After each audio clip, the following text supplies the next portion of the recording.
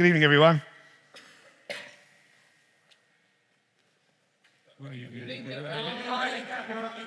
I've been doing this for eight years now. No one, no one, uh, gosh, actually, more relevantly, one of us more on. Um, any Esperanto speakers in the audience? What, no one? Wow, okay. Um, I'm not a fluent speaker at all, but I'm interested in natural and constructed languages. Um, they facilitate communication among humans and, more recently, between humans and machines. Artificial languages like C++ are made with careful thought and consideration for the users. No, really, we do think about you at great length. No, really, we do think about you at great length. Some things are hard to encapsulate into a language, but it's in the front of our minds. But there's no point in adding something to the language if it's impossible to use. Nobody wants to invest thousands of hours of their lives for a feature that will be used by two people, likely by mistake. Similarly, uh, okay, that was my paper. It's obviously receded into folk memory now, hasn't it? Okay. It made no progress at all. Similarly, artificial human languages are constructed with a desire to improve the communications of humans. I'm learning Ukrainian at the moment. It's hard. It's hard. Three plurals. Not one, three that are gendered. There's a plural for two, a plural for five, and a plural for many. But sometimes it's not really many. Sometimes it's like, you, you just know. You're like, you know, you know which fault to use. Um, I've been on Duolingo for about 18 months. I met a Ukrainian last week. I made an absolute useless idiot of myself in their presence. So thanks, Duolingo. Um, artificial human languages are created to be easy to learn and broad in comprehension. And there's a group called Conlang, which is short for constructed language. Um, a constructed language is a language whose phonology, grammar, orthography, and vocabulary, uh, instead of having developed naturally, are consciously devised for some purpose, which may include being devised for a work of fiction. And this is the Conlang flag. It represents the Tower of Babel against a rising sun. Um, there are a lot of constructed languages. Has anyone tried learning Valyrian? Dothraki? Who said Dothraki? Yeah, yeah. Yeah, brilliant. Um, Klingon. Who's learned Klingon? Come on.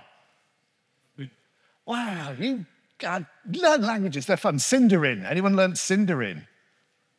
Horseback. Yeah. All right. Sindarin, this is the Elvish language of Tolkien. Um, I want to look at what are called a posteriori international auxiliary languages. Um, an a posteriori language is any constructed language um, whose elements are borrowed from or based on existing languages, and an international auxiliary language um, is a language meant for communication between people from different nations who do not share a common first language. And a quick tour of Wikipedia will give you an interesting list of samples on this noble goal. Um, Valyrian, there we are. Uh, Dothraki, Klingon, Sindarin. Um, yes, 1868, Universalglot. Anyone heard of this one? No. Uh, Volapük. Yes, yes. Starting to get a bit more present. Pasilingua. Honestly, artificial language study is fascinating. Esperanto. Who's heard of Esperanto? Finally. All right. Actually, Esperanto is an important one. Um, any Red Dwarf fans here? Yeah. So this was the second language used on Big Red. Kryten was an effective speaker, unlike Rimmer, possibly in a nod to C-3PO. But it's the world's most widely spoken constructed international auxiliary language. Um, and it was created by a man called L.L. Zamenhof in 1887 uh, to be the international language. That's uh, la lingua internacia. Um, it's intended to be a universal second language for international communication. Uh, he did, oh, Jesus, a minute, right. Uh, he described the language in Dr. Esperanto's international language, which he published under the pseudonym Doktoro Esperanto. Um, early adopters of the language liked the name Esperanto, means one who had. Um, he just wanted to create an easy language, and it's got a steady, steady sizable population of nat native speakers, about 2,000 native speakers, 100,000 speakers around the world. Why did I call this talk Dying for Your Language? Esperanto attracted the suspicion of many states. In Imperial Japan, the left wing of the Japanese Esperanto movement was forbidden. But its leaders were careful enough not to give the impression to the government that the Esperantists were socialist revolutionaries, which proved a successful strategy.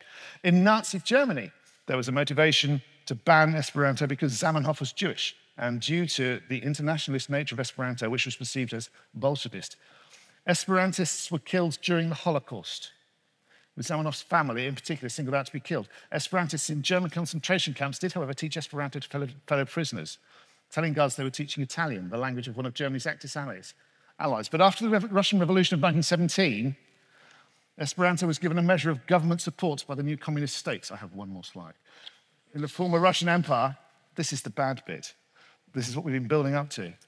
The Soviet Union even, even it, and Stalin um, learned Esperanto. But in 1937, at the height of the Great Purge, he completely reversed his policies on Esperanto. Thousands of Esperanto speakers were executed. Quite often, the accusation was you are an active member of an international spy organization which hosts itself under the name of Association of Soviet Esperantists on the territory of the Soviet Union. We seem to live in dangerous times. I'm a European and an internationalist, and I hope I never have to die for speaking a language. Thank you.